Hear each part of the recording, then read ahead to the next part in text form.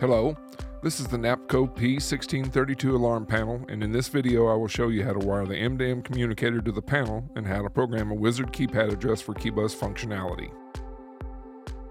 We have the positive and negative wires of our communicator, we have the red wire which is the positive wire of our radio, then we have the black wire which is the negative wire of our communicator. Both of those wires are connected to the aux power terminals of the panel, the red goes to aux power positive and the black goes to aux power negative.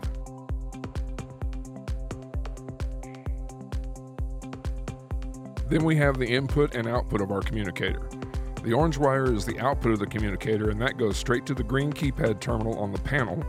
And then we have the white wire in our communicator, which is our input that goes to the yellow keypad terminal of the alarm panel. We have the green wire, which is our ring wire and goes directly to the telco ring terminal, and we have our yellow wire, which is our telco tip wire, which goes to the telco tip terminal of the alarm panel. The next step in the setup is the programming of the alarm system for a wizard keypad address. In order to go into programming in this panel, I need to enter my six digit installer code, which is 456789, and then I need to press the menu button. Then I need to press the bypass button until I see activate program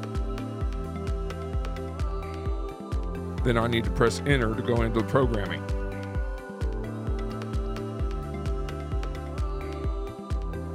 Once I'm into programming, I need to press the reset button in order to go to the address programming of the panel. The first section that I need to go to in order to program an Alpha Wizard address will be 0724. And I will need to set it up as 21. 2 stands for Wizard Keypad, and the 1 stands for Partition 1. I will then press Enter to save that, and then press Menu button to go back to the address programming. The next section that I go to is 0725, and that's for my secondary address. Once again, I'm going to set it up as a Wizard keypad by pressing 2, but this time I will press 2 again, so it's set up for partition 2. I will press enter to save that and then press the reset button to go out of the programming. Once I'm out of the programming mode of the alarm panel, I can start the synchronization process from the R Control mobile application. I will press sync with panel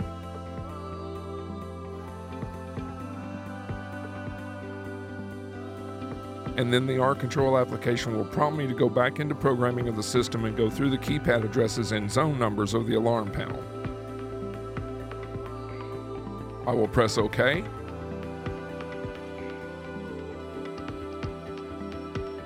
And once again, I will enter the programming mode with my six digit installer code 456789 and then press menu and then press bypass until I see activate program.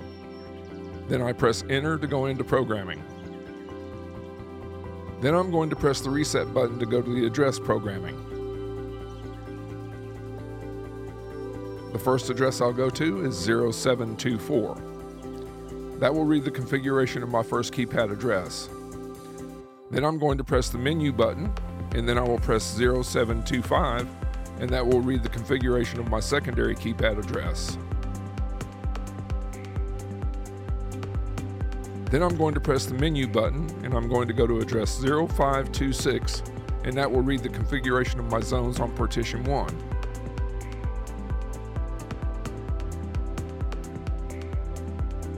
Then I'll press the menu button again and then press 0527 to read the configuration of my zones on partition 2.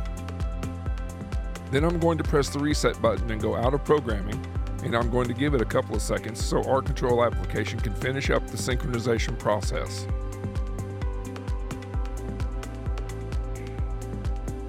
As you can see, the R Control application now is seeing two partitions. If I want to arm my first partition in away mode, I will slide my button to the left. Then I will enter my four digit PIN code.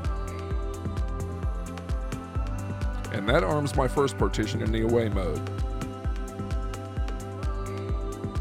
If I want to arm my second partition in stay, I will slide to the right. Once again, I'm going to enter my four digit PIN code. That will arm a second partition in the stay mode.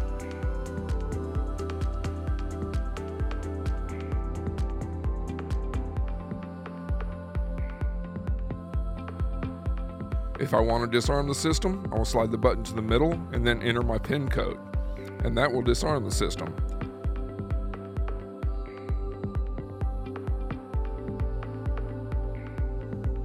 Then I'll do the same for partition 1.